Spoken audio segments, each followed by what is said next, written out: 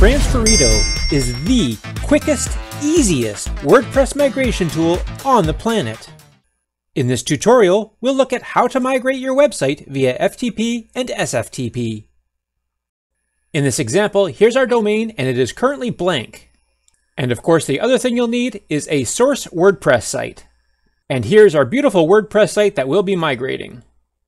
To start the migration, we'll need to input the destination server FTP details and our destination URL, which I'll copy here and paste. Now we can scroll down and validate our FTP details. It only takes a moment for Transferito to validate our FTP details, and then we can select a directory. Now because we chose public HTML, the path right now is in the root folder. And that's the one that we want to use. So we'll just go ahead and select directory. Next, we need our destination server database details.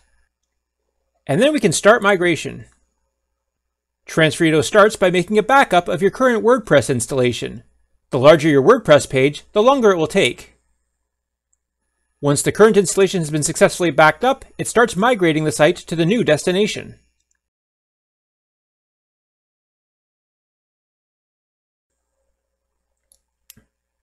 And that's it. You just experienced the quickest, easiest WordPress migration on the planet.